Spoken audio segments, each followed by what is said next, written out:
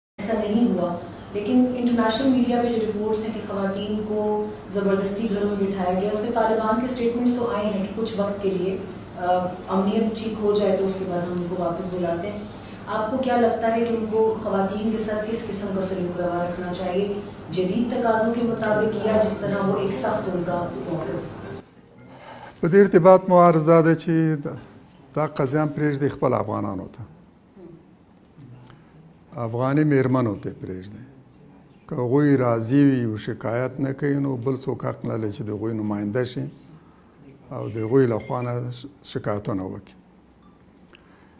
باور مو دا دی چې د افغان ولس اکثریت میرمنې غوس اکثریت لږ یو محدود شمیر غرپالو نه پرته هغوی قانع دي، راضې دي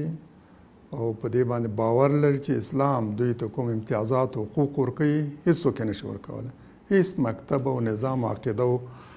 حکومت یې نه شي ورکولی. او متاسفانه چې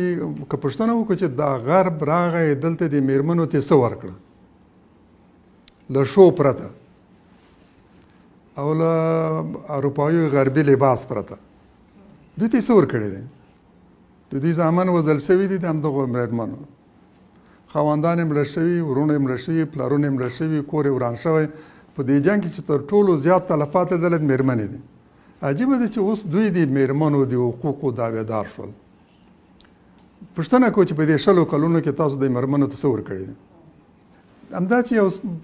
پنځه لس په ښارونو کې مخصوصا کابل کې میرمنې چې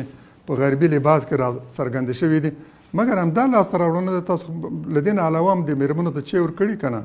پرېږدئ افغانان په خپله په دې ارتباط خپل تصمیم ونیسي او د ټولو برخلیک د فرد فرد د نارینه او د ښځې حقوق تامین کړي